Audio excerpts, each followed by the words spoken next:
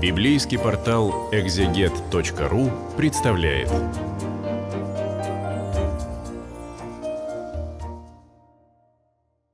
Всех приветствую сегодня в э, аудитории э, нашего э, храма Воскресения Христова, новомучеников исповедников Церкви Русской Московского Сретенского монастыря. В последующем вы сможете посмотреть видеозаписи на портале exeget.ru. А, итак, на портале exeget.ru будут записи сегодняшней и последующих встреч, посвященных изучению псалтыри. Итак, сегодняшняя тема – введение в псалтырь. Название книги.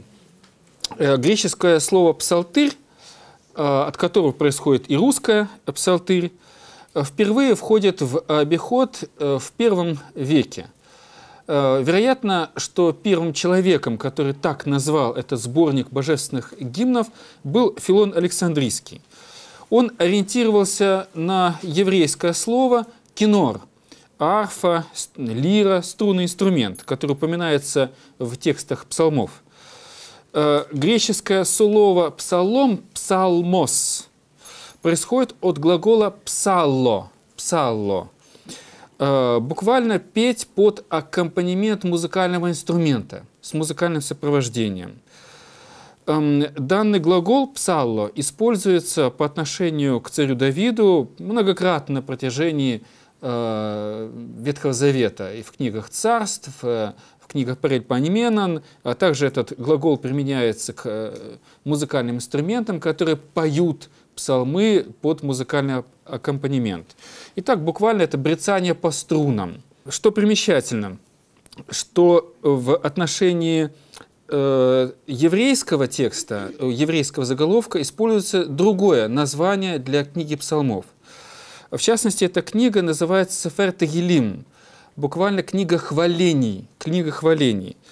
Такое название зафиксировано уже Эм, в одном из кумранских э, документов II века до Рождества Христова. Вот, и оно и сейчас используется в еврейской традиции. Это название происходит от слова «хвалить», «халео» э, или «хиллель», э, которое стоит в заголовке одного из псалмов. Итак, «тахила» или «хила», «хвала» часто употребляется в псалмах это слово – Например, процитируют э, 39-й псалом. «Он вложил в уста мои песнь новую хвалу Богу нашему». Итак, э, Тахилим – книга хвалений. Книга хвалений. Э, в самом наименовании этой книги мы видим разные отношения. Если в еврейском э, в еврейской традиции это название передает содержательную часть, а, в частности, особенности последних псалмов э, этой книги, потому что там чаще употребляется слово «хвалить», «восхвалять», э, «хваление», то в греческой традиции э, наименование передает способ исполнения, петь с музыкальным сопровождением. Есть разница и в месте нахождения псалтыри в еврейской греческой традиции. В еврейской Библии Псалтырь находится в третьей части Ветхого Завета в разделе Писания. Ну, для тех, кто не знает, э, тогда скажу.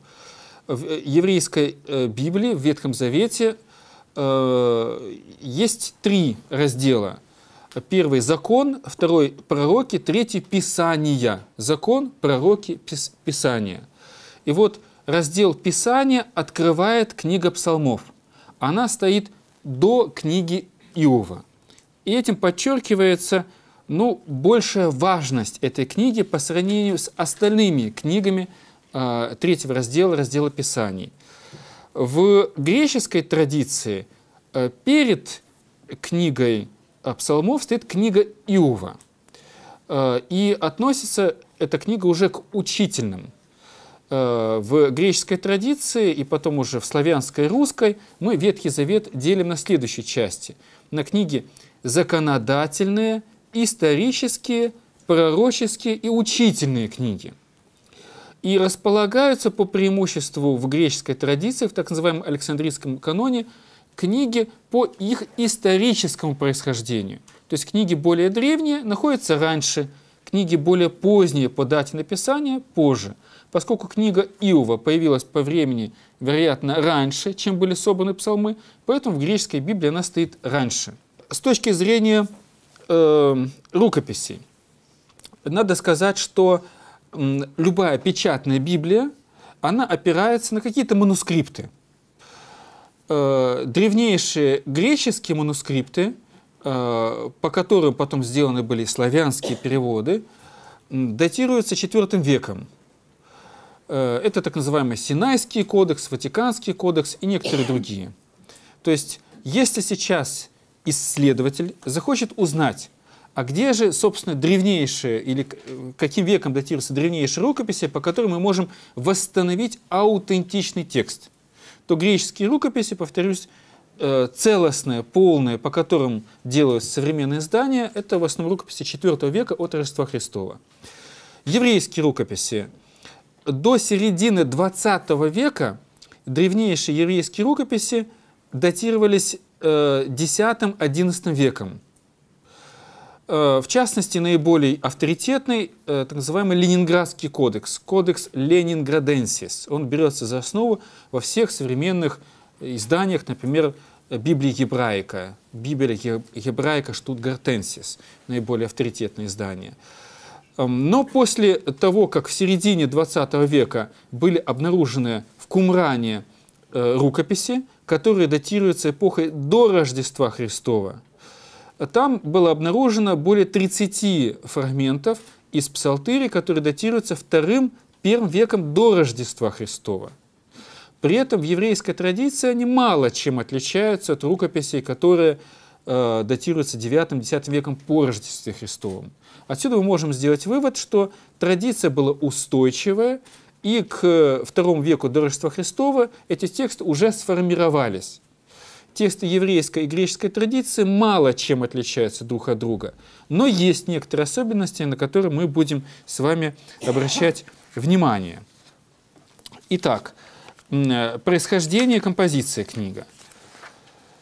Э, теперешний текст э, псалтыри состоит из 150 псалмов по еврейской традиции и 151 псалма по греческой традиции.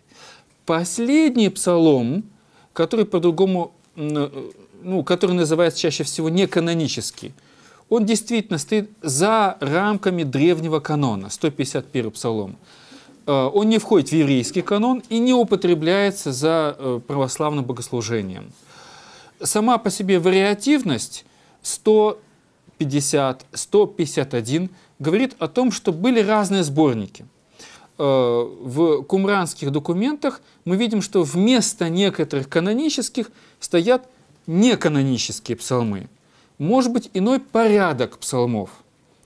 Более того, мы видим, что есть некие песни, напоминающие псалмы в книгах летописей, паралипоменон, в книгах царств, очень близкие по стилю, по характеру, которые тоже мы можем назвать псалмами, но они не входят в сборник книги псалмов, а стоят, так сказать, в, в своем историческом месте, в исторических книгах Ветхого Завета. Итак, разное количество в разной традиции, разный порядок расположения – тем не менее, большей частью то, что мы имеем в современной псалтыре, вот, зафиксировано очень-очень древние традиции. Поэтому мы не будем с вами рассматривать те небольшие вариации, а, которые существуют в древних манускриптах, потому что они несущественны. несущественны. В древности, э, уже начиная с Оригена, писатель третьего века от Рождества Христова, такие церковные авторы, как Евсевий Кесарийский, э, святой Епифаний Кипрский, выделяли в псалтыре пять разделов. Современная наука также делит всю книгу псалмов на пять основных разделов. С 1 по 40 псалом, с 41 по 71, с 72 по 88, с 89 по 105, со 106 по 150. На чем основано такое деление? Потому что окончание всех этих разделов близкая по содержанию. «Благословен Господь Бог Израилев от века и до века». Примерно такие же слова стоят и в конце второго раздела. «Благословено имя славы Его, и наполнится славою вся земля. Аминь, аминь». Эм, третий раздел заканчивается словами «Благословен Господь вовек. Аминь, аминь». Четвертый раздел «Благословен Господь Бог Израилев отныне до века». И, наконец, пятый раздел заканчивается словами «Всякое дыхание или все дышащее да хвалит Господа. Аллилуйя».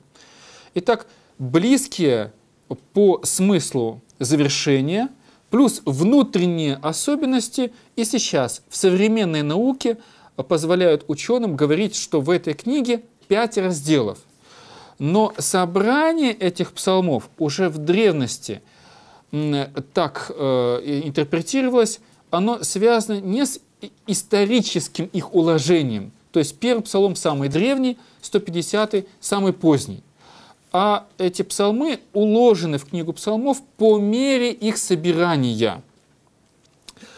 Э, в частности, по мнению святителя Афанасия Великого, э, вторая часть который завершается словами «кончились молитвы Давида, сына Иисеева», не говорит о том, что после этого не будет псалмов Давида Иисеева. Кончился второй сборник, который обозначался словами э, псалмы Давида. Об этом же и говорит блаженный Феодорит Кирский. Я процитирую его слова. «Должен же знать, прилежно читающим псалмы, что в них не сохраняется порядок времени – и псалмы, содержащие в себе повествование о событиях более древних, поставлены на втором месте, а содержащие повествование о позднейших событиях заняли первое место в списке псалмов. Ибо псалом 3 имеет надписание сказания об Авесоломе, а 141 о Сауле, но бегство от Саула – было раньше бегство от об Авесоломе. Это известно всякому читающему историю. Итак, об этом говорил и дореволюционный исследователь, профессор Юнгеров, на которого мы сегодня во многом будем ссылаться. Итак, профессор Юнгеров говорил, что псалмы собирались не по времени их происхождения, а по тем сборникам, которые постепенно добавлялись к общей книге. Вот. Об этом, о том, что э, э, псалмы не сразу вошли в единый сборник, и была какая-то вариативность, говорят в частности так называемые дублетные псалмы, то есть псалмы повторяющиеся. Я сейчас приведу несколько примеров, а потом скажу, что это может значить. Итак, в книге псалмов есть тексты, которые очень близко стоят друг к другу, не по месту нахождения в псалтыре, а по самому содержанию. Сравните псалмы 14 и 53. Привожу по русскому тексту. 14 и 53. Читаем в 14 псалме. «Сказал безумец в сердце своем, нет Бога. Они развратились, совершили гнусные дела, нет делающего добро. Господь с небес презрел на сынов человеческих, чтобы видеть, есть ли разумеющий, ищущий Бога. Все уклонились, сделались равно непотребными. Нет делающего добро, нет ни одного. 14 псалом. Читаем 53 псалом. «Сказал безумец в сердце своем, нет Бога. Развратились они и совершили гнусные преступления. Нет делающего добро. Бог с небес презрел на сынов человеческих, чтобы видеть, есть ли разумеющий ищущий Бога, все уклонились, сделались равно непотребными, нет делающего добро, нет, нет ни одного. Если мы сравним исходные рукописи древнееврейского текста, который старше, древнее по времени, чем греческий, потому что греческий перевод сделан с еврейского, то мы увидим, что эти тексты почти что буквально совпадают. Тексты первых трех стихов этих двух псалмов. А дальше развитие мысли идет иначе – Следовательно, можно предположить, что э, эти псалмы были таким текучим э, материалом, и как некоторые стихи, что неизвестные для нас редакторы могли эти псалмы расширять, добавлять, виды изменять. И в том виде, в котором эта книга дошла до нас, эта книга уже последующей редакции. книга в том виде, в котором она была переведена на греческий, ну и как-то зафиксировалась. Другой пример такого же дублетного псалма. Сравним псалмы 40 и 70 по русскому тексту. Прочитаю отрывок из 40 псалма, стихи 13-16. «Благоволи Господи избавить меня, Господи поспеши мне на помощь. Да постыдятся и посрамятся все ищущие погибели душе моей, да будут обращены назад и преданы посмеянию желающим мне зла. Да сметутся от посрамления своего, говорящие мне «хорошо, хорошо». Да радуются, веселятся тобою все ищущие тебя и любящие спасение твое, да говорят непрестанно «велик Господь». Сороковый псалом. Притом эти стихи стоят в середине э, данного псалма. А теперь посмотрим на начало 70-го псалма.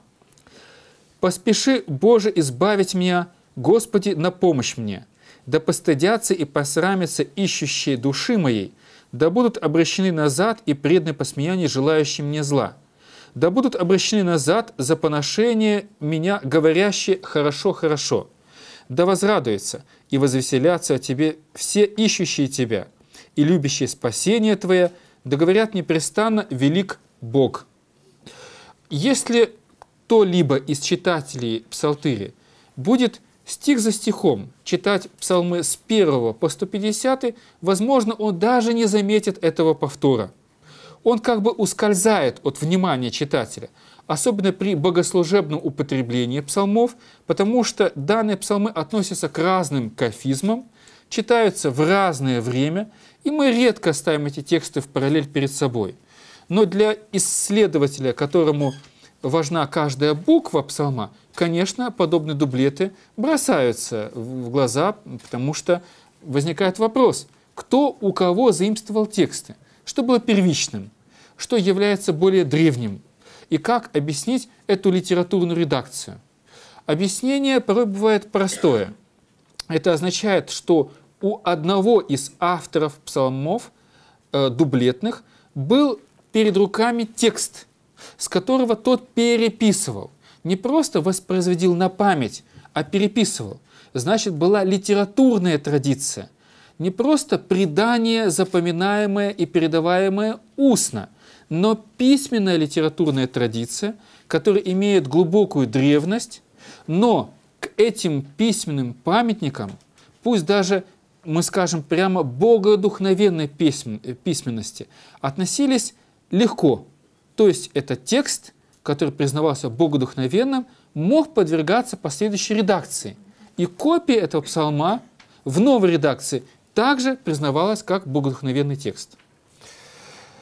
А, есть разница и в нумерации псалмов. В частности, есть некоторые псалмы, а, которые в а, еврейской традиции соединены воедино, но разделяются на части в греческой – Скажем, или наоборот, скажем, в древнееврейском тексте есть два отдельных стоящих псалма, 9 и 10. Но в греческом переводе, а также 114 и 115. Но в греческом переводе эти парные псалмы 9, 10, 114 и 115 соединяются в один соответствующим образом. Вот. И таким образом э, вместо двух в греческом тексте может стоять по одному псалму. И наоборот, есть примеры, когда э, э, один псалом в еврейском тексте, 116, в греческом распадается на два, 114 и 115. Отсюда и разница в нумерации псалмов. Эм, Итак, получается, что большей частью, вот, начиная с 10 псалма, вплоть до 147 у нас есть разница в нумерации.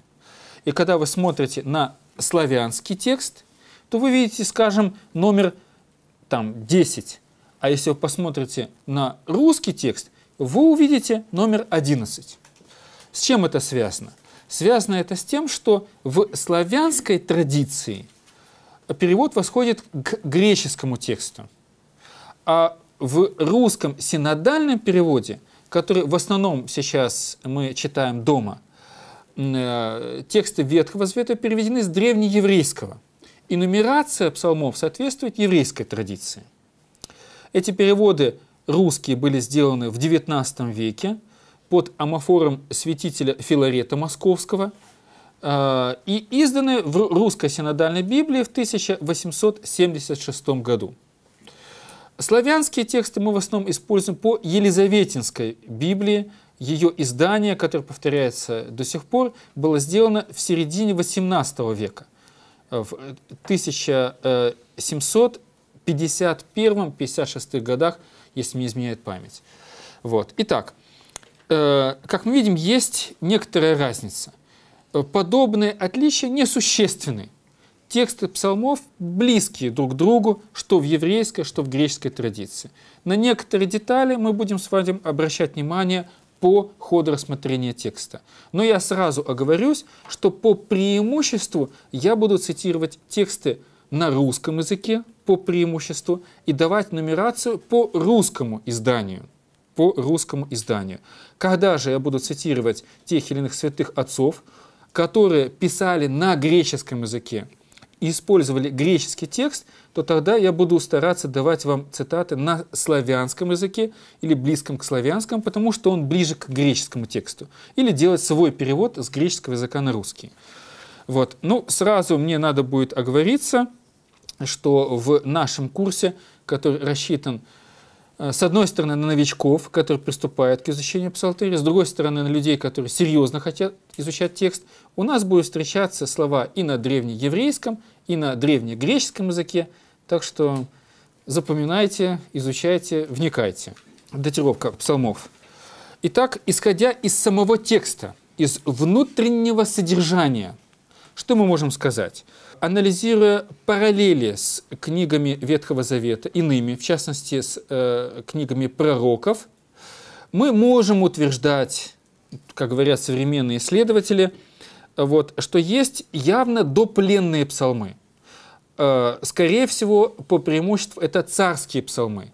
То есть те псалмы, которые говорят о большой роли царя – гражданского царя, царя израильского. Ему отдается особая честь, он является главной фигурой, эм, э, главным действующим лицом того или иного псалма.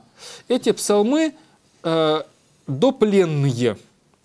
Ну, для тех, кто не знает, э, или для тех, кто знает, тогда напомню, Вавилонский плен, э, то есть период, когда евреи были угнаны из земли обетованной, из земли израильской, в Вавилонское царство датируется годами 586 до Рождества Христова.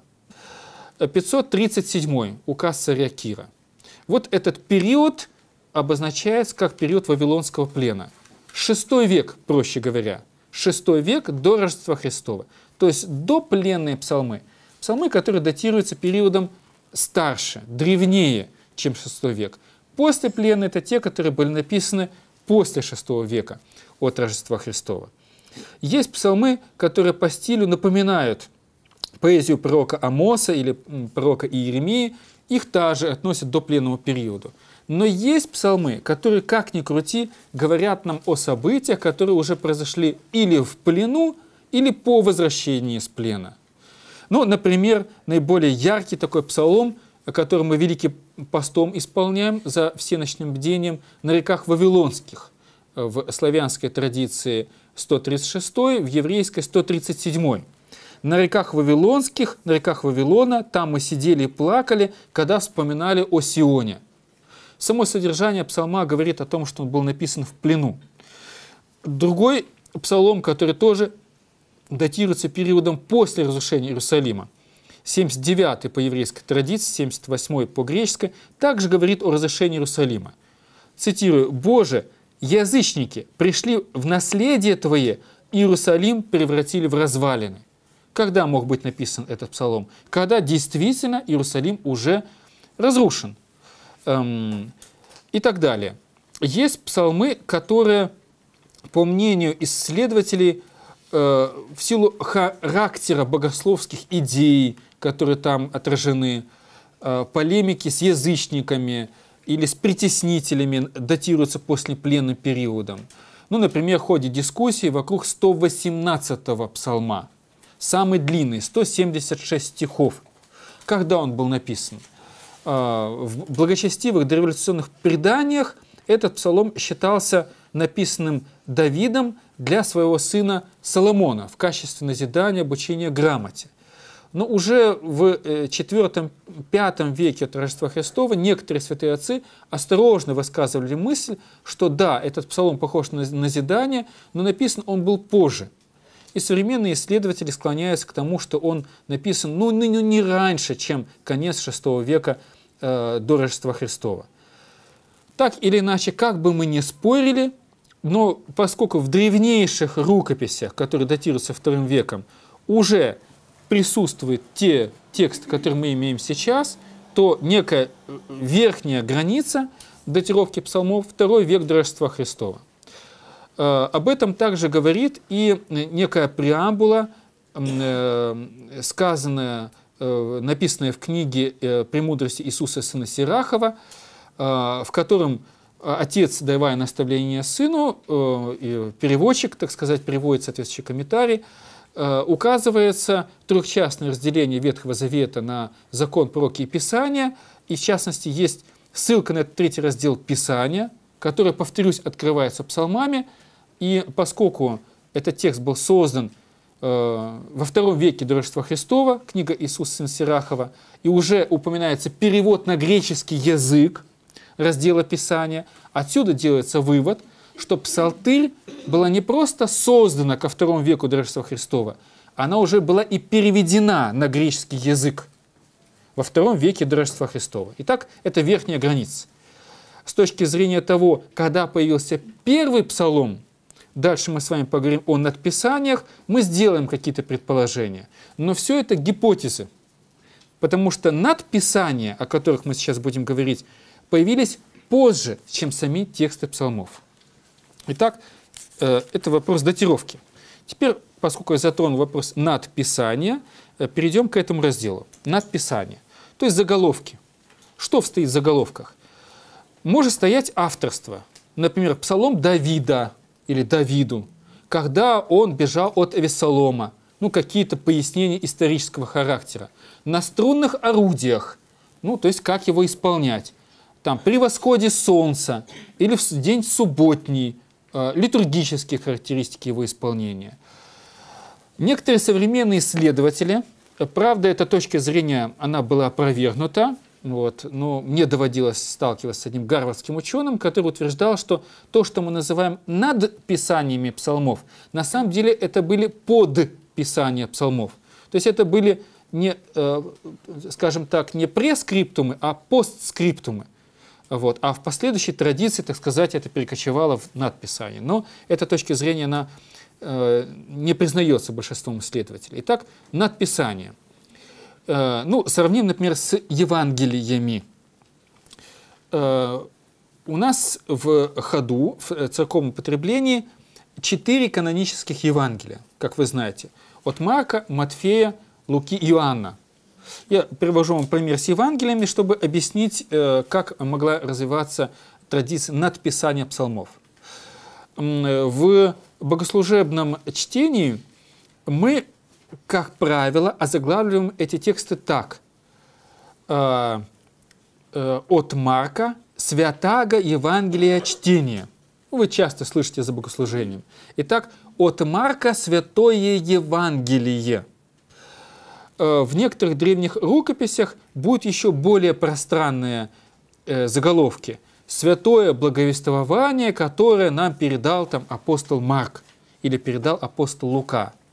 Но в древнейших рукописях надписание будет очень краткое. Допустим, по Марку, по Матфею, по Луке. И даже не будет э, употребляться слова Евангелие, Святое Евангелие, благовествование. Они отсутствуют эти надписания появились позже, чем сами тексты. А эти надписания появились, чтобы тексты отличать. Э, точно так же, скорее всего, и происходило в более древнюю эпоху в отношении псалмов. Сначала появились тексты, а потом надписания. Более того, в некоторых случаях мы до конца не знаем, э, что значит это заголовок. Речь идет об авторстве, то есть сам Давид написал – или указание к Давиду означает некое посвящение Давиду. Это Давид, Давид, этот псалом Давиду посвящается. Или написан в стиле Давида, написан в духе Давида. Мы не знаем. Перед нами есть текст, а все остальное уже интерпретация. Многие исследователи современные выделяют пять типов или пять разных аспектов надписания псалмов. Об этом мы сейчас подробнее поговорим. В частности, авторство. Для нас это самый главный э, вид надписания, э, главная характеристика. Почти половина псалтыри надписывается именем Давид. Но не вся псалтырь, не все 150 псалмов, а заглавлены именем Давид. 73. Некоторые псалмы надписаны иными именами. Например, указываются некие сыновья Кореевы, Асав, упоминается Моисей, Соломон, Еман, Ефам и Дуфум или Идифум. Идифум. Наибольшее количество э, псалмов, которые имеют надписание, относятся к первым книгам, первым трем книгам, к первым трем разделам псалтыри.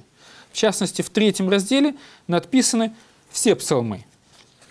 А вот в последних книгах, э, э, в четвертой, пятой, э, меньшее число псалмов имеют авторские надписания или указывают об авторстве.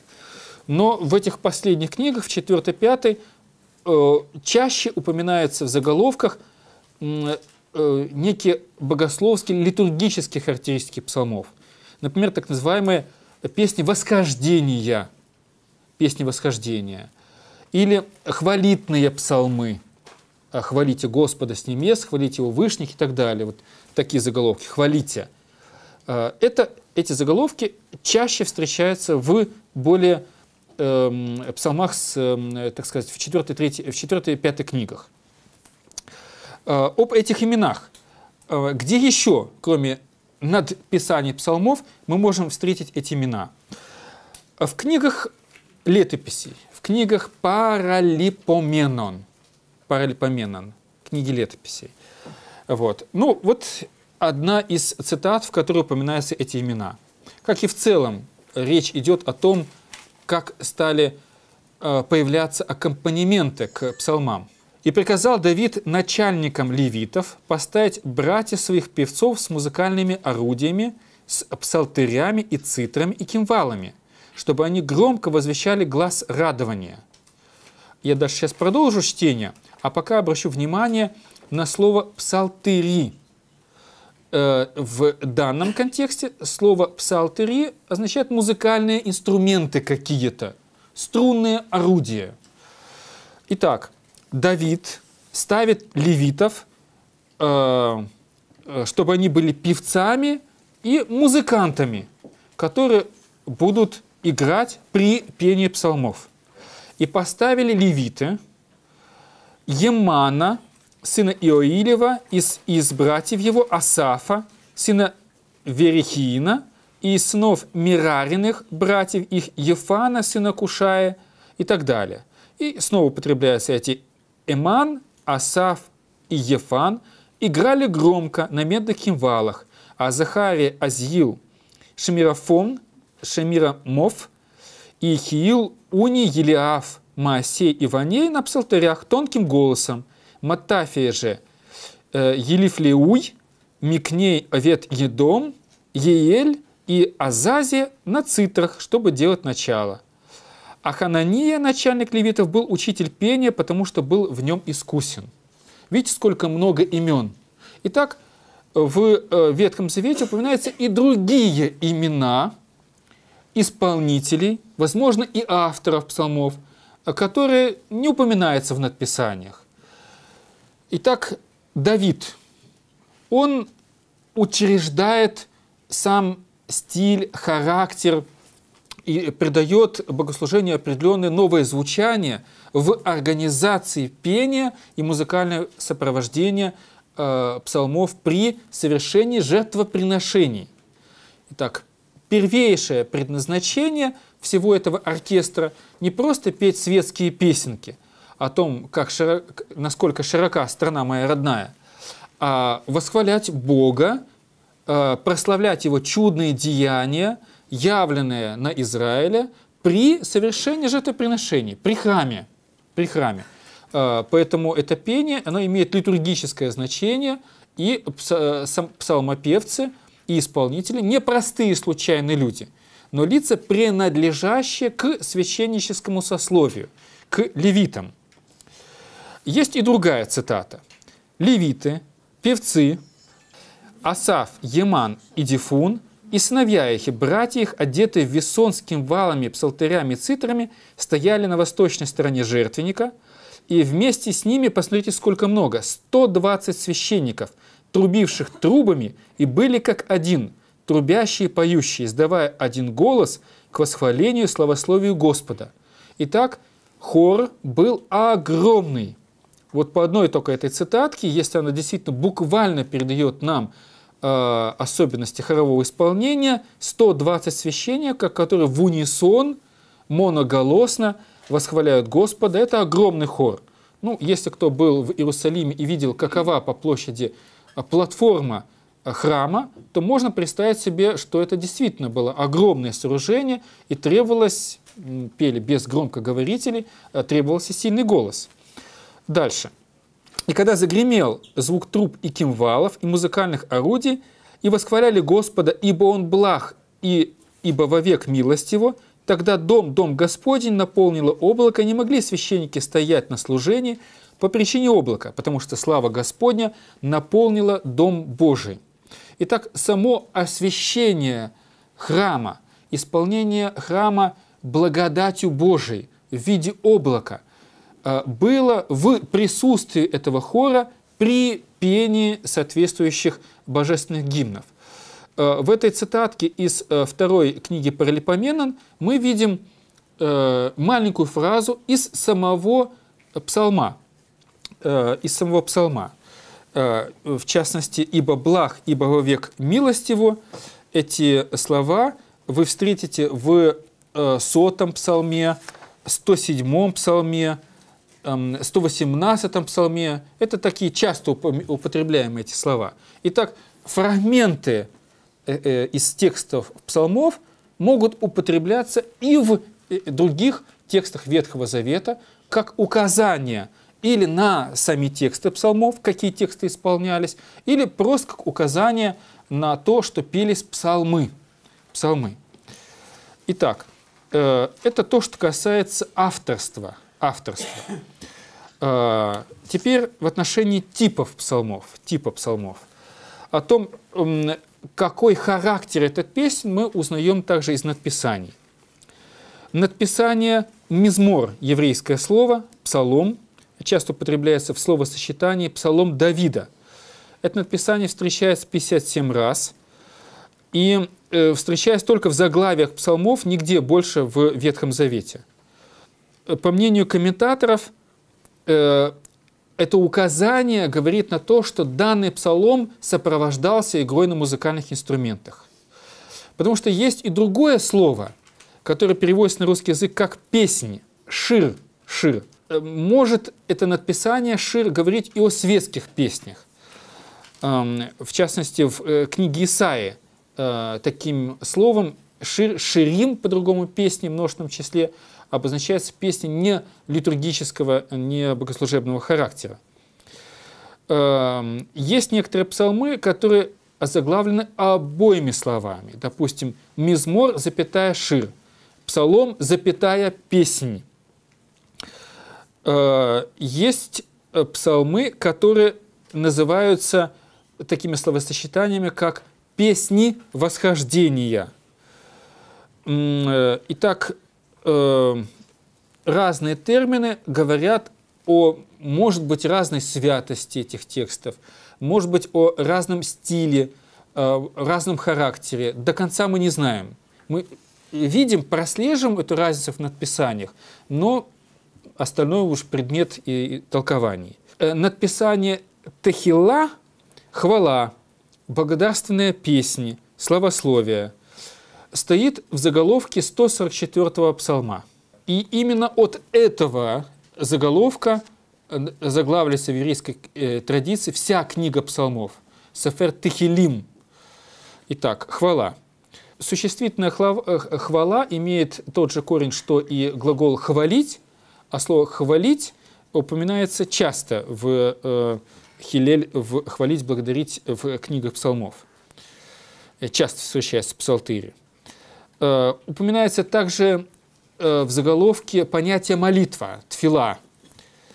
Э, часто так озаглавливаются жалобные песни, псалмы жалобы, псалтыри. Эм, литургическое использование – о литургическом использовании в те или иные богослужебные дни говорят следующие заголовки. В первый день недели, в четвертый день недели, в день перед субботой, в субботний день. Э, музыкальные заметки, вот их достаточно много. Э, в частности, э, адресация к начальнику хора. 55 раз в Псалтыре встречается такой заголовок. К начальнику хора – к сожалению, в русском переводе, в славянском переводе мы не видим этой коннотации музыкальной в заголовках псалмов, когда они адресуются начальнику хора. Они озаглавлены в славянском тексте словами «в конец», по-гречески «истотелос». Может быть, тогда, когда переводили с древнееврейского на древнегреческий язык, эти заголовки и 100 телос в конец, э, сами по себе что-то говорили этим начальникам хоров. Но что именно утрачено, мы не знаем. Э, следующий э, термин на музыкальном струнном орудии шошан. Такой заголовок мы встретим в синодальном тексте. Ну, на самом деле никто не знает, что это за музыкальный инструмент шошаним – вот есть в еврейском языке это шошаним. Вот. Ну а дальше вот наши возможные интерпретации. Может быть, это какая-то лира, то есть музыкальный инструмент, напоминающий согнутый лук с натянутыми струнами, 6 или 8 штук. В славянском э, тексте вы встретите такие заголовки «О имущих изменитесь» или «О изменшихся». А, вполне возможно, что когда греческие переводчики создавали этот текст, они уже не представляли себе, как выглядит этот музыкальный инструмент. Вот. И поэтому такой корявый перевод об изменшихся, изменяющихся. А, и сейчас до сих пор некоторые слова, например, гевское орудие, хагидит, Э, в еврейском языке, мы не знаем, как выглядит это гевское орудие. Что это такое? В славянском тексте вы встретите надписание «о точилях», «о точилях». Ну и э, этому выражению «о точилях» уже святые отцы дают совершенно иную интерпретацию. Например, когда гнев Божий э, возгорится, и будет он как чаша опрокинута вина, он всех уничтожит грешников, так же само как э, сминают виноград в точильнице, и он дает соответствующий сок, то есть пускает кровь, так все грешники погибнут, пустят кровь, когда Господь их там сомнет там, одним ударом. Вот такая интерпретация может быть в святоотеческой письменности к заголовку о точилях. Но в еврейском тексте, повторюсь, скорее всего, это музыкальный э, какой-то значок, музыкальный инструмент, гевское орудие, э, вид которого нам непонятен. В общей сложности больше 20 разных эм, таких музыкальных эм, э, слов, говорящих о музыкальных особенностях исполнения псалмов встречается в заголовках.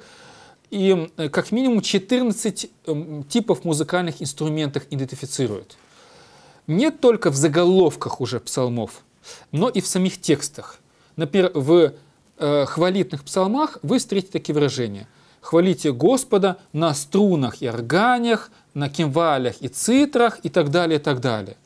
Вот, анализируя эти слова, можно сделать выводы, что употреблялись как струнные инструменты, похожие на лиру, арфу, на этот самый кинор, а, ударные инструменты употреблялись, э, э, барабан какие-то, э, бубенцы, трубы разные, горные.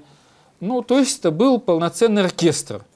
Повторюсь еще раз, как минимум 14 типов музыкальных инструментов идентифицируют, но каков был их вид, все, что вы встречаете на рисунках, это догадки, потому что материальные памятники не дошли.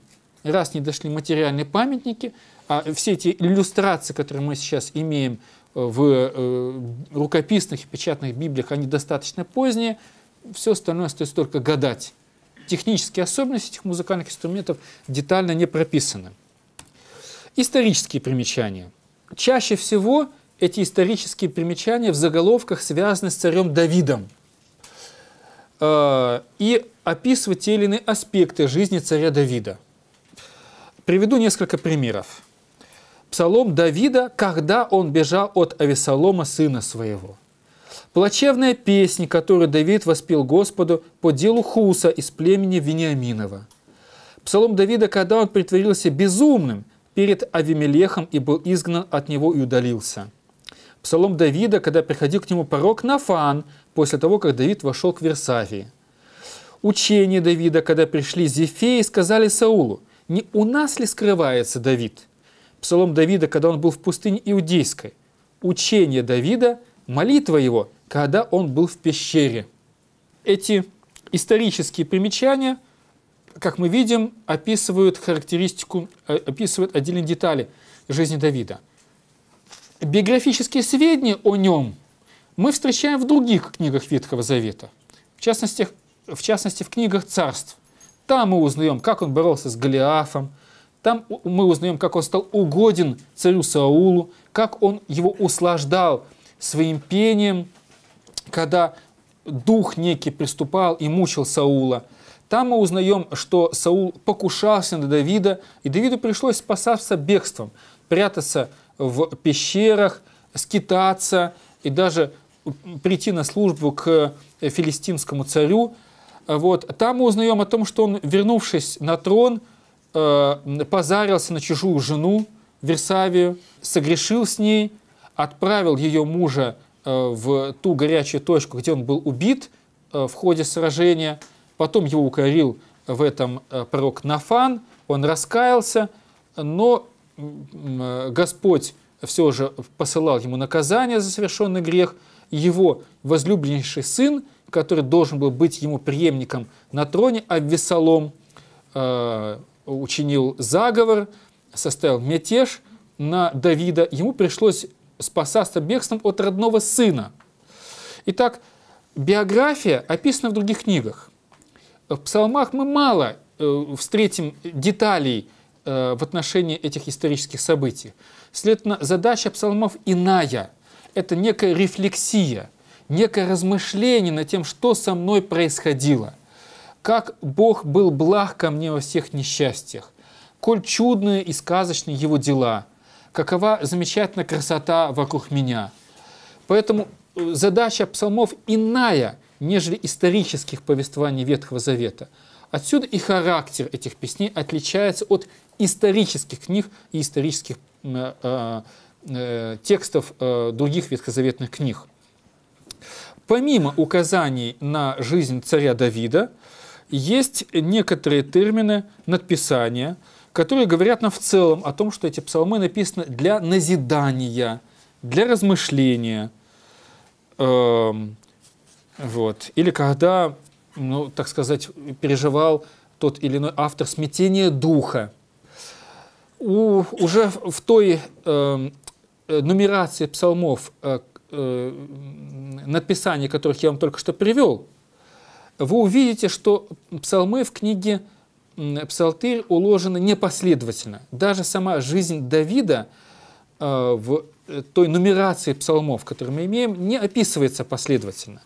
Но вот еще вернусь к тем же текстам, которых я только что процитировал.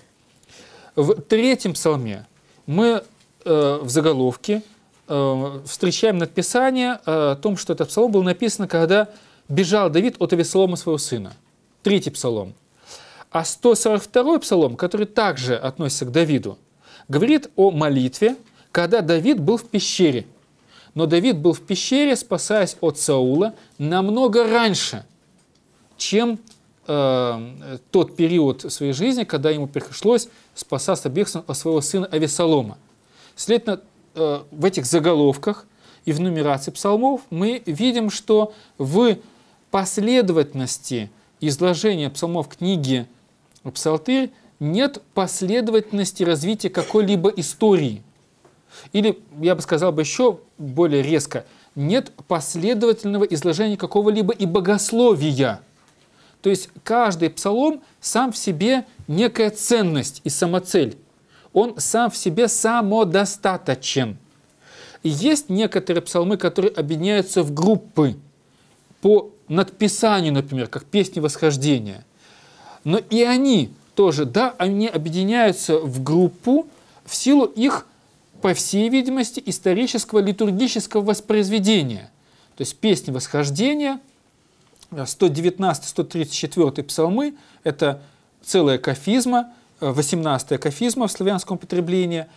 Они собраны вместе, вероятно, не по единой богословской идее, а в силу того, что литургически исполнялись на праздник путешествия евреев в Иерусалим – путешествие евреев в Иерусалим, но, может быть, на праздник Пасхи, Кущи, Пятидесятницы. Вот они шли с дома и вместе, собравшись в дружную компанию, пели эти песни. «В дом Господень войду, как радостно мне обитать в жилищах твоих» и так далее, и так далее. Это не означает, что эти псалмы, все эти псалмы, которые входят в 18 кафизму, появились в один день и написаны одним лицом. Мы не знаем. А, других таких групп мы почти не встречаем. Все остальные группировки псалмов в богослужебном православном употреблении, ну, например, шестопсалмия, э, группируются не в силу того, что эти псалмы родились в одно время или созданы одним автором, а в силу того, что уже в нашей христианской интерпретации они говорят нам какие-то очень важные вещи, подготавливая душу молящегося для того, чтобы прослушать дальнейшие тексты канонов, э, гимнов, написанных в христианскую эпоху. Об этом мы скажем дальше. Тем не менее, несмотря на то, что не Давид был автором э, всех 150 псалмов, в славянских текстах нередко вы встретите такой заголовок «Псалтырь Давида». Почему, кто-то спросит? Если не он автор, это родилось не в его эпоху, не все псалмы ему посвящены, не все псалмы описывают его жизнь и так далее. Но тем не менее усваивается это имя в некоторых заголовках. Э, ответ таков. Это некое обобщение, генерализация. Э, поскольку нередко э, эти псалмы посвящены Иерусалиму как особому месту, которое избрал Господь, чтобы построить там, благословить там храм, святому Сиону. И там Бог особым образом обитает – и Давид, собственно говоря, был тем, который предпринял все усилия и дал наставление своему сыну Соломону, чтобы этот храм там был построен. В отличие от других древних владык, э, месопотамских или египетских, которые себя мыслили некими небожителями, э, нами Божьими в буквальном смысле, богами на земле. Давид всегда знал и утверждал, что он всего лишь человек, сын человеческий – и что дни его, яко цвет сильный, как трава полевая. Э, и он надеялся на то, что он, может быть, доживет до 80 лет, э, сокрушался о своих грехах и так далее. Э, более того, Давид явил особую кротость. Ну вот известное выражение из 131 псалма «Помяни, Господи, Давида и всю кротость его». По всей видимости, все это и другое повлияли на то, что это имя Э, стало в заголовок псалтыри.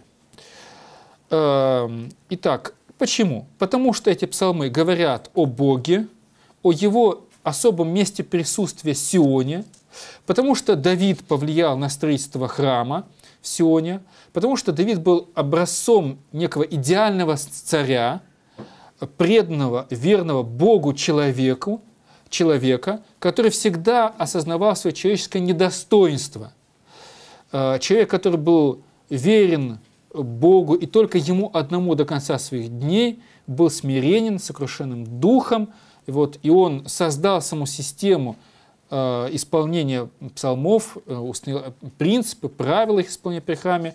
Вот поэтому, вероятно, и книга э, собрания этих гимнов, посвященных Богу и Святому Сиону, были озаглавлены его именем.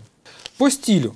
По стилю различается в псалмах э, гимны, жалобные песни народа, отдельных лиц, благодарственные гимны, царские псалмы, премудрость и так называемые песни Сиона, которые восхваляют особое место вот, избранные Богом.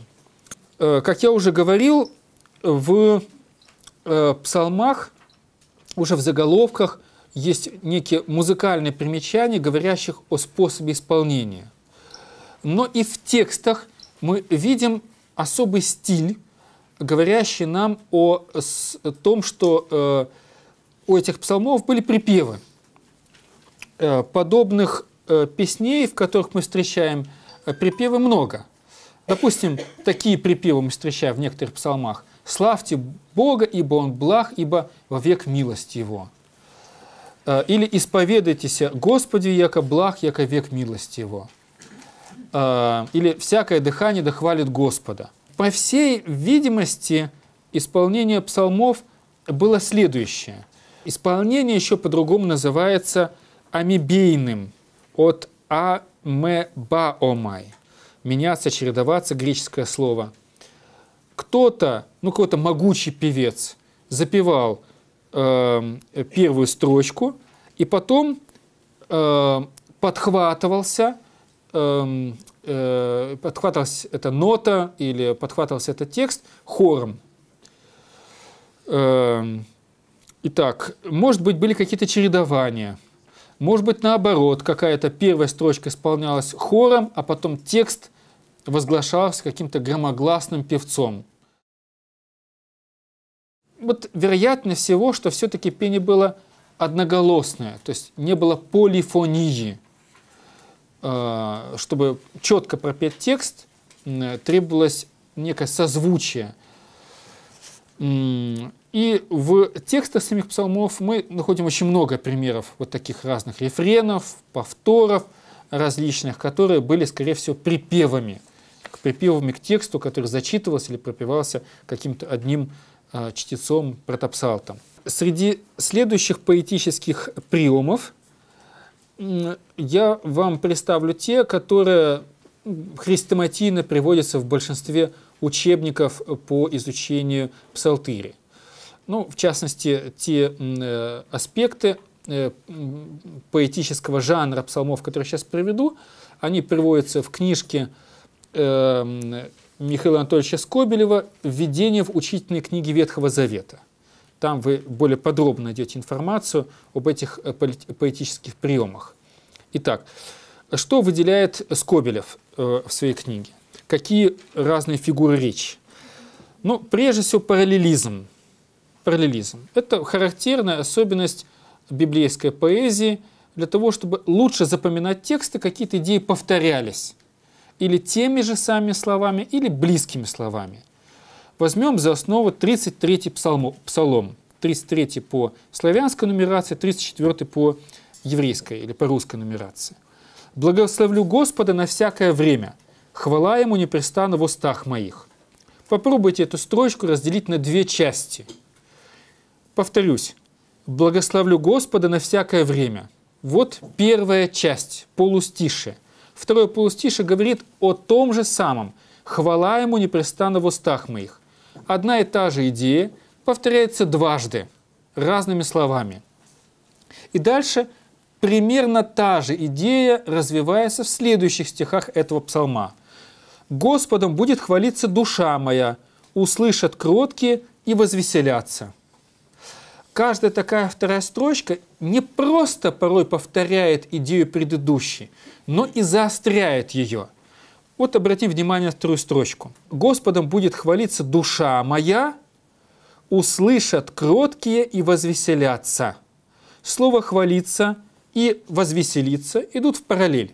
Тогда возникает вопрос, а какому слову ставится в параллель понятие «душа»? Слово «кроткие».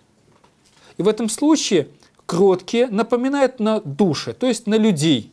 И говоря не просто о людях, которые возвеселятся, а о том качестве, которыми должны обладать эти люди, которые веселятся.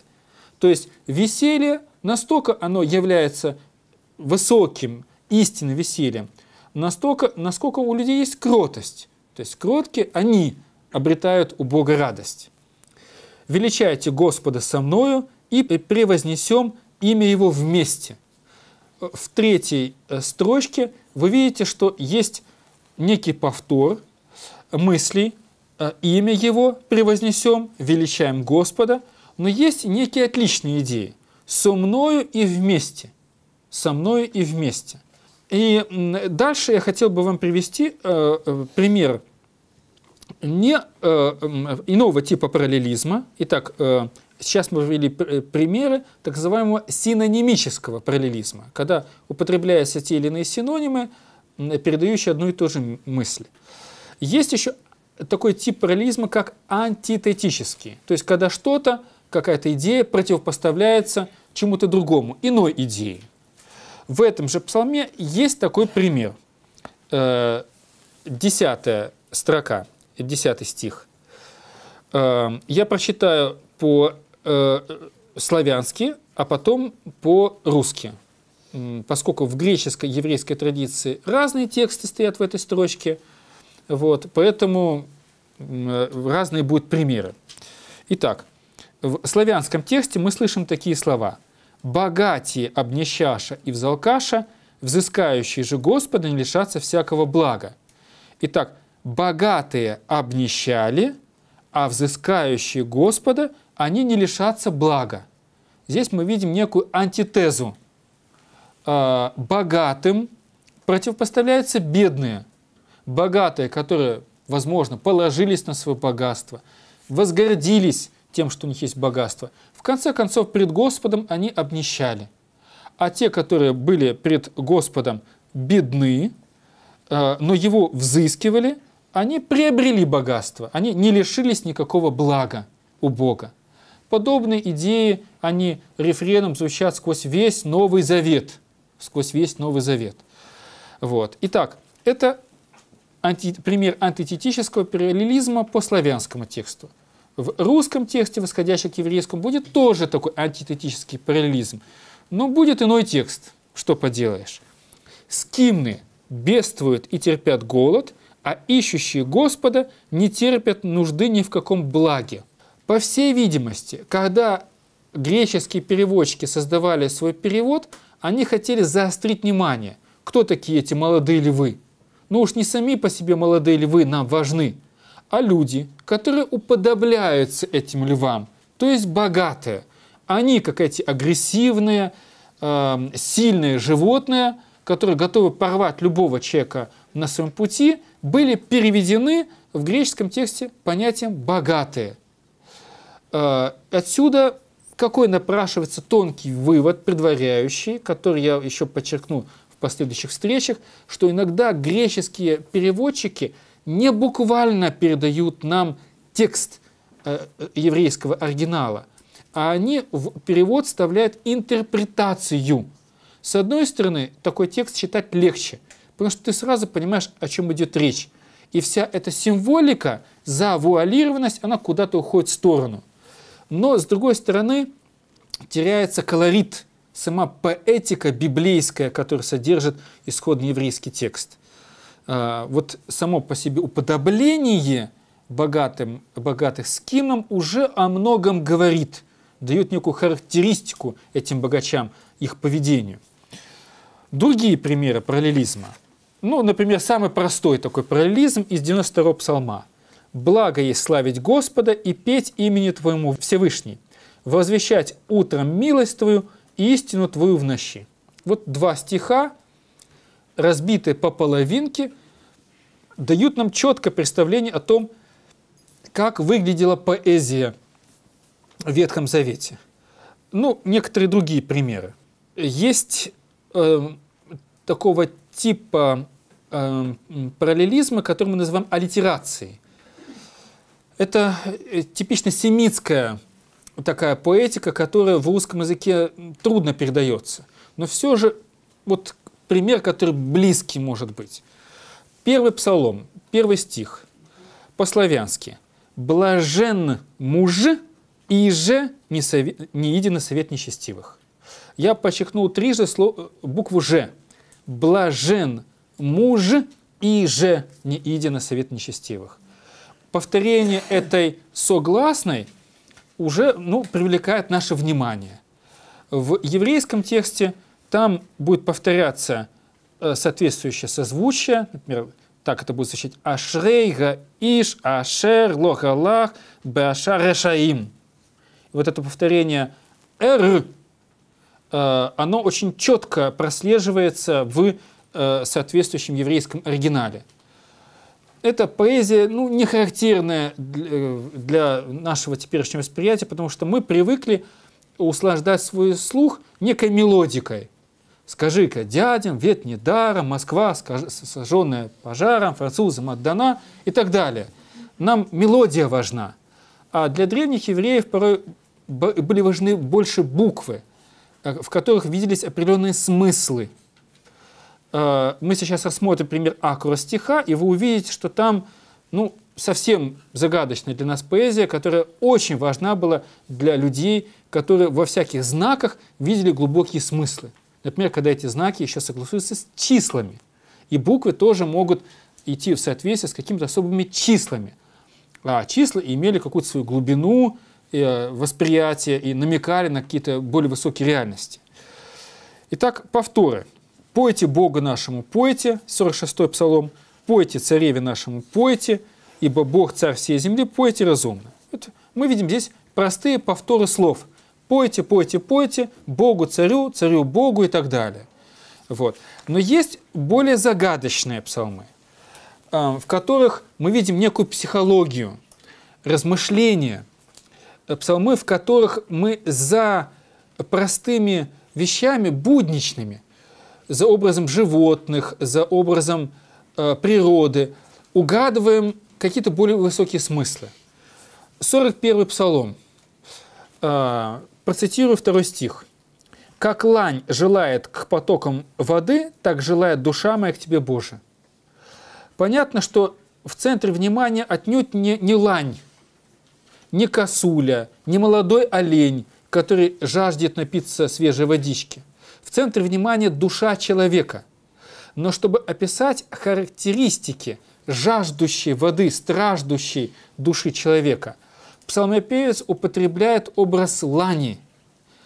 Ну, мы видим этих животных, наверное, только в зоопарке, когда ведем детей, чтобы посмотреть на этих диковинных животных. Не сталкиваясь с ними в быту, э, день ото дня, мы не понимаем, как лань может жаждать воды. Нам сейчас этот образ не ясен, потому что мы не живем бок о бок с этим животным, со львом, с тигром, с, э, с не знаю, там, с гипопотамом, ну и слава богу со змеей. Хотя есть, конечно, такие любители диковинных животных, которые в аквариумах у себя заводят разных рептилий. Но о них сейчас не идет речь. Но для древнего человека, который был более интегрирован в естественную среду обитания этих животных, для него понятно, как лань жаждет воды. И вот жаждущая душа, она вот психологически уподобляется этой лани, жаждущей воды. Э, какие еще другие есть примеры? Ну вот я про рефрены припева говорил. «Славьте Господа, ибо Он благ, славьте Бога богов, ибо в век милость Его, славьте Господа господствующих, ибо век милость Его». Есть ну, много других таких э, примеров. Например, анафора, повторение какого-то слова в начале каждой следующей строки. Скажем, Псалом 148.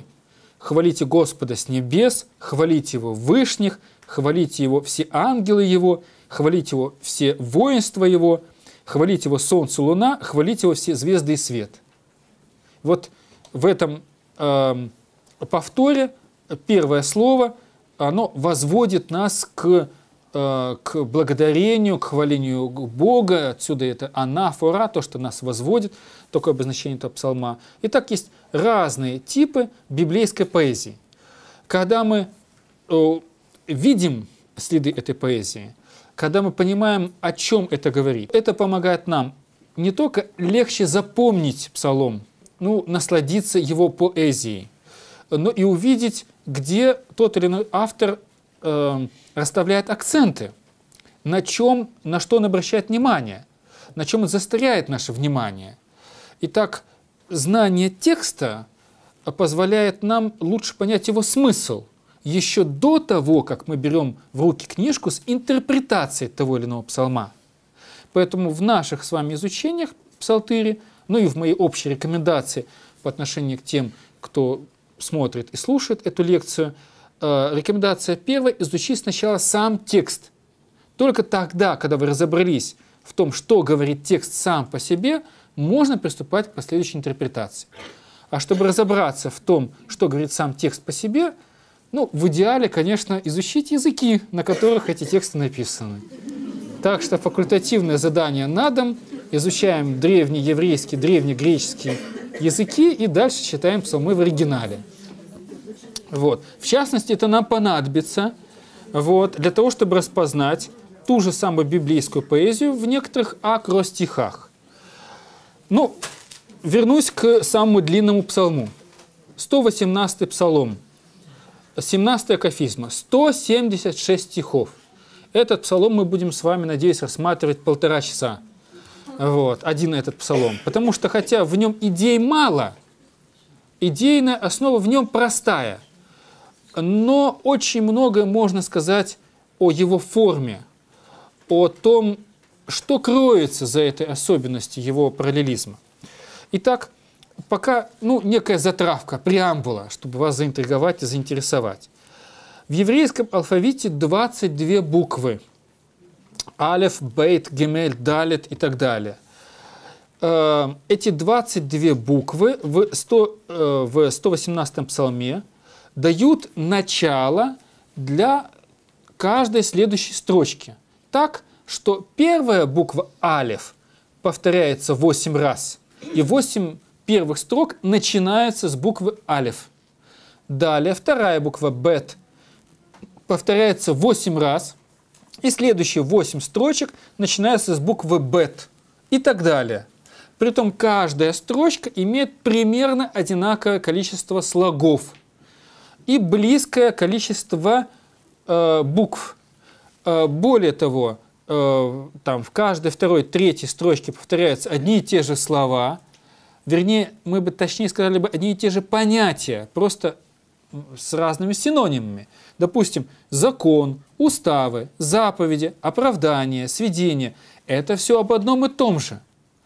А, и отношение человека по отношению к закону – ходил, сохранил, а, сторожил, охранял, соблюдал и так далее. Итак, праведник, который воспевает этот псалом, услаждается законом, и это услаждение Божьими заповедями, законом Божьим, доходит до того, что он наслаждается не просто идеей закона, идеей договора между Богом и человеком, что Господь даст благо человеку, если человек будет хранить Богу верность. Но услаждается праведник самими буквами закона и видит особый смысл и особое вдохновение, когда он не просто знает о Библии в целом, но знает ее настолько досконально по памяти, что каждая буква э, имеет определенного рода смысл для него. Но для людей 21 века это трудно понять. Дай Бог, чтобы все мы э, с вами хотя бы раз от корки до корки внимательно Библию прочитали, а уж не то, что знали на память. Но для древних людей многие тексты, о которых мы будем говорить, это тексты, которые в детстве запоминались, и всю жизнь повторялись по памяти. Но не стояли же певцы в Иерусалимском храме с какими-то подсказками и не подглядывали в ноты, как им спить до э, ре или ми. Они эти тексты знали по памяти. Сказал начальник хора, поем 144 псалом, запели 144 псалом. Сказал, поем сейчас там, там 18 псалом, запели 18 псалом. Надо было знать на память. Итак, в еврейском тексте мы это видим в 117 псалме акростих, в русском не видим. Ну, звучит по-еврейски примерно это так. Первое слово «ашрей» э, в первых двух строчках. Ашер, э, э, «Ашрей тамимей э, дерех гагольхим бетора адонай». Так это будет звучать. Если прочитать э, на иврите, на древнееврейском, э, все строчки, мы там тоже не увидим игру звуков, как в классической поэзии Пушкина. Но определенного рода созвучие имеется. Итак, э, это все о форме. О форме. Мы уже говорили, наверное, э, много о музыкальном исполнении, этого достаточно. И, наверное, пришла речь о том, чтобы э, сказать и о содержании. А, но прежде чем я перейду к разговору о содержании, э, э, ну, два маленьких комментария. Первый. Стиль написания псалмов, э, сам характер этой поэзии повлиял на то, что в межзаветный период появились некие подражания псалмам Давида. А, появились так называемые оды Соломона, псалмы Соломона, а в третьем веке по Рождестве Христом Сирис Вардасан написал 150 христианских гимнов, ну, так сказать, в параллель псалтыри. Это была такая уже христианская псалтырь. Сейчас кто-то может сказать, что есть псалтырь еще преподобного Ефрема Сирина, ну и многие другие тексты в подражании псалтыри создавались, создаются сейчас. Э, итак, э, такие подобные тексты мы встречаем уже с первого века до Рождества Христова в кумранских рукописях. Там есть кумранские разные гимны наподобие этим псалмам. Э, также можно сказать, что псалтырь повлияла и на христианскую гимнографию. Мы не только, там чуть попозже скажем, используем псалтырь за богослужением – Э, тексты псалмов стали частью э, христианских молитв. Ну, яркие примеры, например, канон Андрея Критского, в котором очень часто те или иные тропари начинаются со стихов из псалтыря Давида. Вот. Эм, теперь, э, в отношении содержания. Итак, о чем же эта книга? О чем же эта книга? Эм, Прежде всего, это книга о Боге. Э, «Ведом в Иудее Бог, и в Израиле вели имя Его». 75-й псалом. Через призму псалтыри вся история народа израильского воспринимается как история взаимоотношений избранного народа с Богом, который называется нередко в э, псалмах как Бог Израилев. Бог Израилев. Итак, история Израиля Божия. В исторических книгах передаются детали тех или иных катаклизмов, войн с окружающими народов, а в Псалтыре передаются отношения ищущей души к тем страданиям, эм, которые переживает праведник, который зло страждет, и та благодарность Богу, когда Господь этого праведника защищает. Кроме того, что мы встречаем прямые указание на определенное свойство Божие в Псалтыре, о том, что Господь – мое прибежище, моя твердыня, опора, защититель и покровитель мой. В Псалтыре встречаются и некие косвенные указания на Бога, на то, что мы о мудрости Божией можем узнать из созерцания природы. Небеса проповедуют славу Божию – Э, творение же его, творение же руку его возвещает твердь, 18-й псалом. Итак, небеса проповедуют славу Божию, творение же рук его возвещает твердь. Подобные идеи мы встречаем и в послании к римлянам, когда апостол Павел замечает, что язычники, они осуетились, не познали Бога. Но ведь из рассматривания творений Его, Бога, вечная сила и божество видимы. Эта же идея она звучит и в псалмах Давида. Потому что Бог наблюдаем не только из его промышления об избранном народе, но и э, в окружающей природе мы можем видеть его присутствие. И в самом конце, когда в самом конце псалтыри, когда мы читаем хвалитные псалмы, мы уже с вами приводили этот пример, мы слышим, что хвалит Бога не только человек, но и солнце, луна, звезды и, все, и, э, и свет – вот, все, вся, все, что создано им, все, все, что создано Богом, все, что создано Его руками, так сказать, все свидетельствует э, о том, что в этом есть какая-то премудрость Божия, является отражением э, Его идеи. В э, псалмах э, нередко подчеркивается идея э, единственности Бога. Нет других богов, кроме как Бог. То, что создают люди своими руками, лже-боги, это суть идолы. Они имеют уши и не слышат. Они имеют глаза, не видят. рот имеют, но ничего не скажут. Нос имеют и не обоняют. И дальше такая саркастическая еще ухмылка автора псалма. Так будет всякий подобный им, который их сотворил, который делает их. Итак, э, те, кто поклоняется этим бездушным идолам, будут таковы же немы, слепые, глухи, как эти сами идолы. Э, автор псалмов подчеркивает единичность Бога. Он один и единственен, и нет никого подобных Ему. Есть, правда, очень тонкие указания на то, что э, некие заблуждающиеся, э, может быть, язычники, может быть, сами израильтяне, которые уклонились от истинной религии, посчитали Бога израильского наравне с другими богами. В частности, об этом говорят такие слова, как «Бог стал в сонме богов».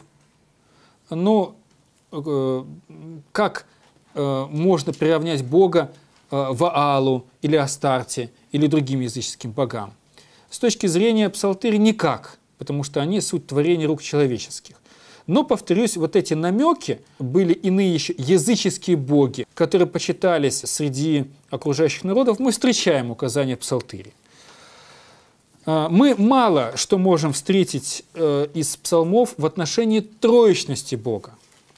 И те указания, которые в дореволюционных э, книжечках можем встретить, они прикровенные.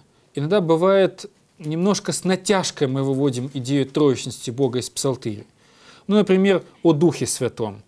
«После Слова Свое и, и истает я, дхнет Дух Его, и потекут воды».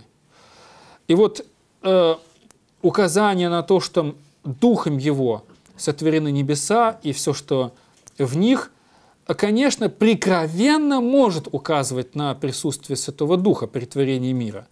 Но прямо в Псалтыре все же об этом не говорится. В то же время вот много говорится в Псалтыре о человеке и о Мессии. Особенно если мы смотрим на Псалтырь с точки зрения нашей христианской интерпретации. Прежде всего о человеке. О человеке. Итак, э, человек сотворен Богом – это первая идея, которую мы прочитываем в псалмах.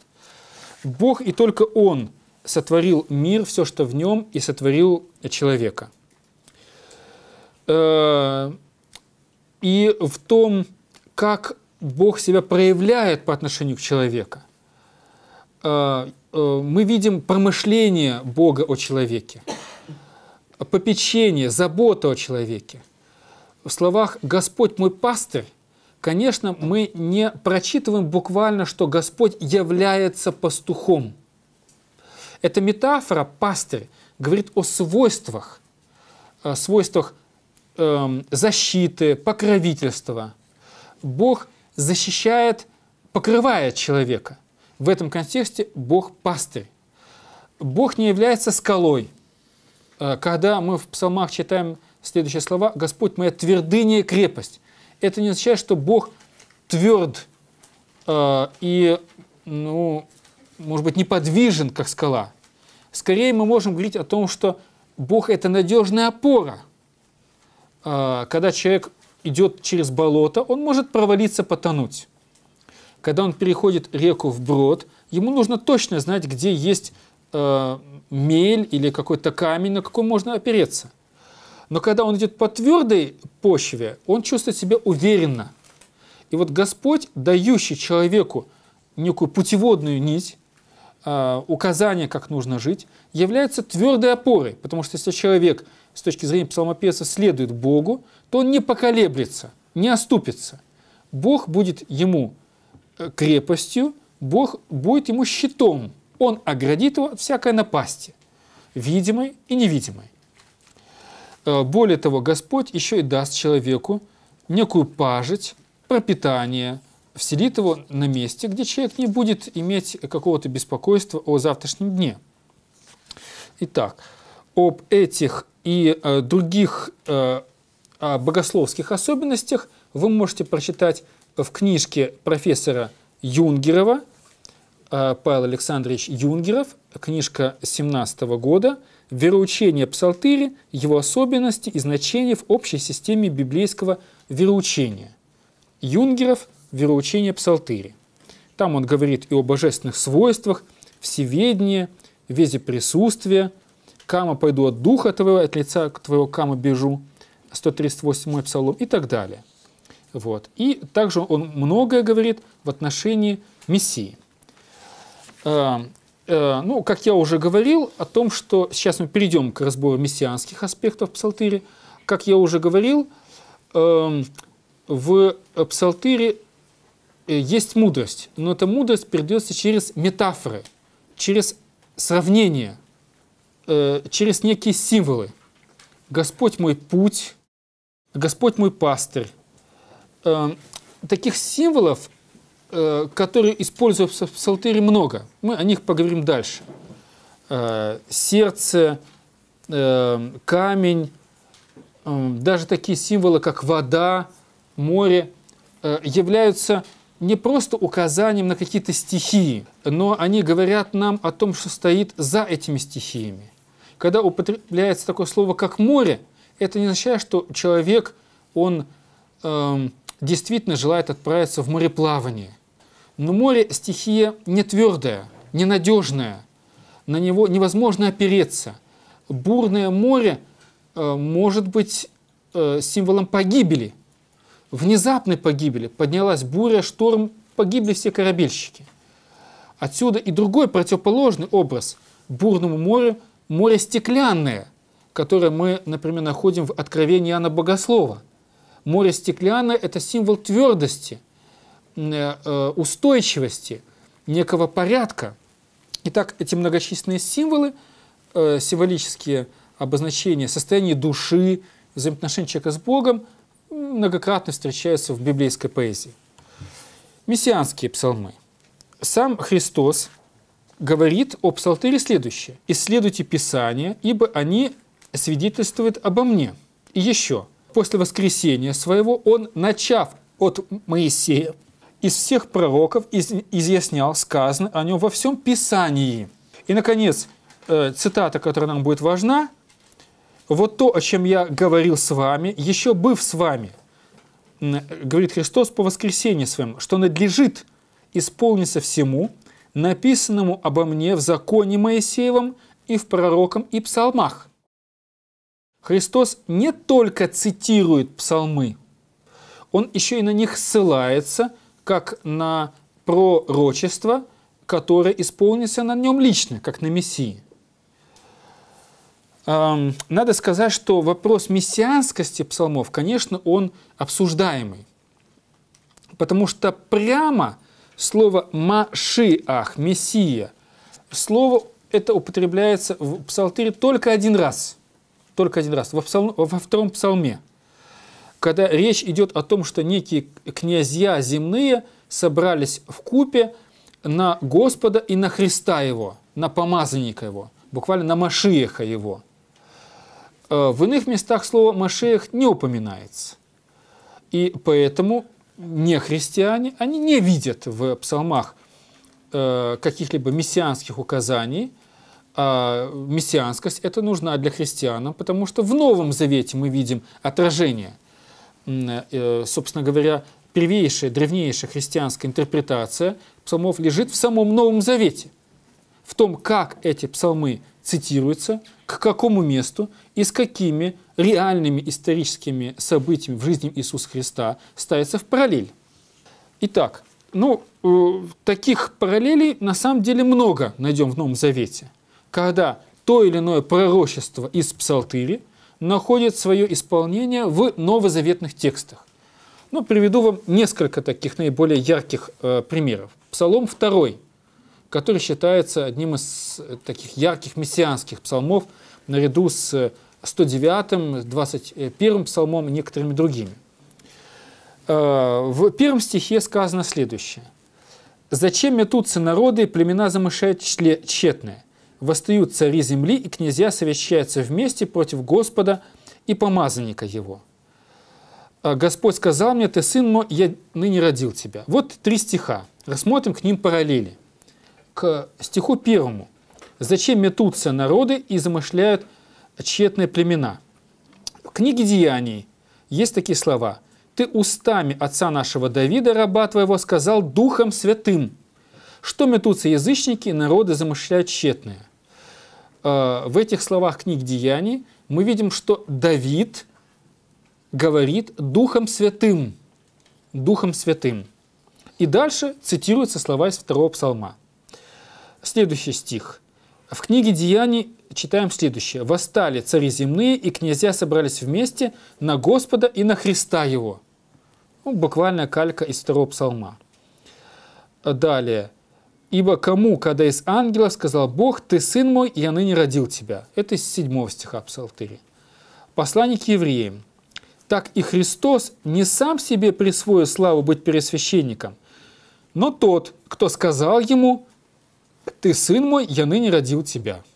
И, наконец, Евангелие от Матфея, «Если глаз небес глаголящий, сей есть сын мой возлюбленный, о котором мое благоволение» мы видим, что не только цитируются фрагменты из псалмов, но и тут же дается применение. Например, в послании к евреям. Какая дается интерпретация? Дается интерпретация следующая, что не Христос сам себя назвал первосвященником, но Бог вручил ему первосвященство будущих благ, будущих благ. Потому что сам Бог э, сказал следующие слова «Ты, сын мой, я ныне родил тебя». А, подобные же параллели мы можем встретить в 21 псалме. Я не буду сейчас их зачитывать, потому что э, это займет много времени. Ну, зачитаю, наверное, только одну строчку. Например, из второго стиха 21 псалма. «Боже мой, Боже мой, для чего ты оставил меня?» Эти слова цитирует сам Христос, уже будучи подвешенным на кресте. Э, «Элои, Элои или Или, Илима, или Лима Свахфани, Боже мой, Боже мой, для чего ты оставил меня? Также мы встречаем параллели и в 109-м псалме. «А, «Сказал Господь Господу моему, сиди, одесную меня, доколе положу врагов твоих под ножи ног твоих». А, этот стих цитирует Христос, э, когда также э, говорит о Давиде и его роли – как же Давид по вдохновению называет его Господом, когда говорит, сказал Господь Господа ему, сиди одесную меня, доколе положу врагов твоих под ножи ног твоих. И так далее. А, образ грядущего Мессии мы находим во многих псалмах, даже тех, которые прямо не называются мессианскими. Прямо не называются мессианскими. И о тридневном погребении воскресения Спасителя, и о Божьей Матери – и о страданиях Христа в особенности, о справедливости суда Мессии, об Иуде-предателе, о, э, о Христе как царе, добром пастыре и так далее. Э, богослужение употребления псалмов. Как я уже вам говорил, прежде всего употреблялись псалмы при храме, начиная с Давида. Во времена Иисуса Христа э, псалмы были в ходу и в домашнем употреблении. Э, в частности, когда ученики после Тайной вечери, воспев, пошли на гору Елеонскую, по всей видимости, тогда они исполняли псалмы Гилель. Ну, так считают многие исследователи, что в это время исполнялись так называемые аллилуйные псалмы, 112 117 потому что таков был пасхальный обычай, обычай, э, связанный с праздником Пасхи. Э, в послании Иакова есть такие слова – Злостраждет ли кто вас, пусть молится, весело ли кто поет псалмы. В послании к Ефесинам апостол Павел подчеркивает важность назидания друг друга псалмами. Колосинам научайте и вразумляйте друг друга псалмами. И так уже начиная со Христа и апостолов, э, псалтырь входит в богослужебное употребление, рассматривается как поэтическая книга и книга мудрости. Многие древние святые отцы – увещевали христиан проводить ночь и утро в молитвах и псалмах, упражняясь в них постоянно. А, литургическое употребление псалмов христианской церкви прочно вошло в обиход, начиная с Египта. А, и потом утвердилось уже в монастырях Савы Священного в Палестине. В частности, в монастырях святого Пахомия Великого одним из условий для принятия в монастырь того или иного инока являлось знание на память от 12 до 20 псалмов. Знаешь двадцаточку псалмов, ну вот можешь становиться послушником. А у нас сейчас, придя в монастырь, человек вот только приступает к изучению псалтыри. Вот. И дай Бог, чтобы за свою жизнь он выучил на память 20 псалмов. Итак, э, учили на память в монастырях Святого Пахомия и Евангелие. Также это было одним из требований для искусного инока знать на память хотя бы одно из Евангелий. Отсюда и разные чины, там пение 12 псалмов и так далее. Пели на память в христианских монастырях. Когда вы откроете такие книжки, как «Древний потерик», и там э, а, вот такой-то пришел, так а ведь такому, рассказывается история, как они там побеседовали, и стали петь псалмы плетя там корзинки или еще чего-либо, пели на память. Итак, э, псалтырь быстро, очень быстро стала книгой молитв христианской церкви. В монастырях Савы Священного э, рождается определенный устав, чтение, пение псалмов, за утренним, вечерним богослужением появляется служба часов, так называемый первый, третий, шестой, девятый час – служба часов, они основаны на чтении псалмов. И исполнялись они в определенное время. В 7 часов утра, там, скажем, в 9 утра, в 12 часов дня и в 3 часа дня. Изначально петь э, или по, исполнять попеременно на определенный распев, антифона, псалмы, э, э, изначально это ну, передавалось греческим словом «стихословить». Отсюда и э, наше русское стихосложение, но мы сейчас говорим не о сочинениях э, новых текстов, э, не о стихосложении, как о сочинении новых гимнов, но о том, как исполнялось. Итак, стихословить, э, петь, читать на определенный манер, на определенный распев. В древней церкви по преимуществу изначально пели стоя, а потом, когда садились, прибавляли какое-то поучение или распевались новые гимны христианские, которые получили название седальнов. А, то есть э, э, первичным было пение псалмов, вторичным припевы – это какие-то гимны. Сейчас все наоборот. За богослужением псалтырь можно опустить, а вот канон обязательно нужно исполнить. Ну вот у нас, допустим, в правиле ко святому причащению есть такие слова – есть такие, ну, так сказать, в каноне вставки. «Сердце чисто созижди во мне Боже, дух прав обнови». Да, да, вот вот мои. Это из 50-го псалма два стиха. Так вот, первичным, конечно, являлся псалом, а к нему добавляли тексты.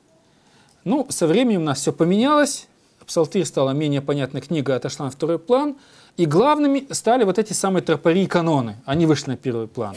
А вот эти разные прокимно, и все остальное стало просто фоном. Вот. Но так не было в Древней Церкви. Между прочим, в Египте монахи IV века, в IV веке монахи египетские, они даже критиковали э, новые гимны христианские, как услаждающий слух, но не имеющие такого глубокого смысла, как псалтырь. Вот. Э, итак, э, пение псалмов. За литургией очень быстро стали петь антифона на два хора попеременно. Мы за литургией сейчас э, сохранили эти пения, э, поэтому когда вы слышите «Благослови душе моя Господа», «Хвали душе моя Господа» за литургией, это пение псалмов. Современное деление псалтыри на 20 стихословий, на 20 кафизм, вероятно, восходит к палестинской традиции 5-6 века – Тогда псалтырь был разделен на 20 частей для удобства исполнения в течение суток и в течение недели. На Руси в, э, в середине XVI века Стоглавый собор постановил не петь, а стихологисати кафизмы, что понималось как исполнять единолично на распев. Появляются со временем у нас и э, переводы с Э, греческого на русский. Ну, они вообще появились, переводы на славянский язык, э, уже с X-XI века. Но появляются еще всякие следованные псалтыри и так далее, и так далее.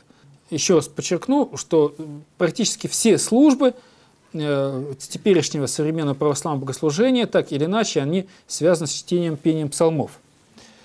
Вот. Но еще раз вернусь к э, молитвам, которые состоят из псалмов. Ну, например, молитва «Сподоби Господи, вечер сей без греха сохранитесь нам». Она почти целиком составлена из отдельных библейских стихов. В частности, из Псалтыри первая часть заимствована, из пророка Даниила вторая часть. Так что некоторые древнехристианские молитвы, они почти целиком и полностью составлены из эм, э, текста псалмов, из техных стихов с разных мест. Есть соответствующий распорядок чтения псалмов в течение недели. Перед глазами вашими табличка, э, как распределяется чтение э, псалтыри за богослужением, за вечерней, утренней. В домашнем употреблении э, после прочтения каждой кафизмы э, добавляется еще три святое Отче наш и молитва. Вот. Ну, вероятнее всего, что это в монашеской традиции появилось э, такое прочтение, когда читали в кельях, в скитах псалтырь, вне, так сказать, соборного богослужения. И, соответственно, прибавляли к каждой кафизме еще э, три святое, тропари и соответствующую молитву. Эм, есть очень много попыток э, приспособить псалмы к современной жизни. Ну, многие спрашивают, а какие тексты молитвы читать, когда болит голова, зубы, когда нужен ангел-хранитель в дорогу, и как изгнать э, пьющего соседа. Вот. Э, ну, что вы смеетесь? Это те вопросы, к которым приходят к современным батюшкам люди наши. Э, к сожалению, мы стали антропоцентричными, а не богоцентричными. И нас, в отличие от древних людей, меньше удивляют божественные откровения, чудеса, а больше – э, просьбы в отношении практической необходимости. Что мне почитать, что все было хорошо? Чтобы у меня все было, и мне за это ничего не было. Вот. И вот подобные такие разные э, указания, что нужно читать в тех иных случаях, они составлялись и составлялись в разное время, в разных местах. В приложениях Библии вы встретите много разных указаний. Они отличаются. Нет единого стандарта – а, ну, например, преподобный Арсений Каппадокийский, он э, в свое время составил такие указания, когда читать первый, второй, третий, четвертый и другие псалмы, и у него практически даже не связаны э, псалмы, их содержание с тем, по какому поводу он предлагает читать их. Ну, например, пятый псалом. «Да исцелит Господь глаза, уязвленные злодеем». Содержание псалма, оно далеко от э, излечения от глаз. Или, например, шестой псалом «Да освободит Господь находящих под заклятием». Ну, такое есть. Ну, я дальше объясню, почему возникает такое применение. Это тоже очень интересно и ну, немаловажно, особенно для тех людей, которые принадлежат православной церкви. А подобная интерпретация применения псалмов говорит нам о том, что не только применение, но и содержание может иметь разную интерпретацию. Буквальную интерпретацию, аллегорическую, типологическую, нравственно-назидательную. У разных методов истолкования псалмов мы будем говорить с вами в дальнейшем. Применительно каждому псалму можно применять разные методы. Все зависит от того, какие результаты вы ожидаете. Если вас интересуют те природно-географические реалии, а, особенности этих слов, которые употребляются в псалтыре, и вы хотите вернуться в ту эпоху, услышать псалом, как он мог бы звучать 2000 лет назад, тогда вам, конечно, будет более применим метод буквальный, историко-филологический, буквально-исторический. Если же вас больше интересует, как мне сейчас оградиться от злых духов, тогда здесь поможет аллегорическая интерпретация или какая-то нравственно-назидательная и так далее. Вот в отношении тех методов, которые мы будем использовать в наших толкованиях. А, прежде всего, мы читаем с вами Библию э, не просто как академические ученые, которых интересует только лишь ну, текст сам по себе. Для нас это Слово Божие, которое дано людям не, для удовлетворения их любознательности, а для научения в вере христианской жизни. А второй принцип э, – толкование, какое бы мы ни брали за основу, суперсовременное, мы будем использовать самые современные книжки, оно должно быть так или иначе согласно с вероучением церкви, с основными догматами. Ветхий Завет мы оцениваем через призму Нового Завета. Для нас это единая книга под названием Библия. Изучая толкование святых отцов, мы не только святых отцов берем за основу, но и литургическую традицию, и даже иконографию. И, наконец, э, толкование может быть соединено с критикой текста. Слово не очень удачное, но, к сожалению, очень популярное. То есть с научным подходом, э, с исследованием э, того, какие литературные источники могли повлиять на эти псалмы, сами псалмы на какие литературные источники могли повлиять и так далее. Как литература не библейская могла повлиять на рождение библейской литературы и наоборот. Это также мы будем принимать во внимание. Вот. Ну и, наконец, наверное, последняя цитата, на которую обращу ваше внимание, из святителя Афанасия Великого. Почему мы должны читать эти псалмы? Вот как отвечает на этот вопрос святитель Афанасий. Псалмы излагают свою речь как бы от лица читателей, сливая свою душу с душой и сердцем читателей – от этого происходит то, что читающий, поющий псалмы читает и поет не чужое, а свое. Сказано от себя и о себе. То есть, когда мы, находясь дома, на работе, в машине, на богослужении берем в руки псалтырь, то отношение к этой книге у нас должно быть не как к чужой книге, которая написана когда-то для кого-то, но как к своей книге, и считая псалмы, я их произношу от своего лица. «Я, Господи, страдаю, Ты меня помилуй, мое сердце очисти, дух прав обнови во мне» и так далее, и так далее. Вот такое отношение персональное к книге устанавливает в частности святитель Афанасий Великий. Э, кто-то меня спросит, какую литературу порекомендуете? А, о псалтыре уже во времена Юнгерова, сто лет назад, было написано тьма тьмущая книг после Евангелий это вторая книга по численности комментариев, которая создана. Ну, я для своей любознательности просмотрел, сколько есть заграничных комментариев э, создано к э, концу 18 года. А, нашел соответствующую статью с перечнем литературы. 243 страницы со списком книг. Более 5000 наименований. Так что, если кто-то спросит, батюшка, порекомендуйте книжечку, 5 тысяч с лишним наименований. Ну, может быть, даже 6, потому что все зависит от того, как считать. Если мы считаем 10 книжек одного автора и статей как одно, один источник, значит 5 тысяч. Если мы знаем, что этот автор в разных своих статьях по-разному подавал материал, значит 6 тысяч, только заграничных наименований. Но порекомендую вам сегодня только одну – одну книжку, я в основном на нее опирался, готовясь к сегодняшней лекции. Это книга э, в соавторстве Скобелева и Хангиреева, которая называется «Введение в учительной книге Ветхого Завета». Вот так она выглядит. Вот там где-то 340 страничек. Всего очень полезная книжка. Все. Я вас благодарю за внимание.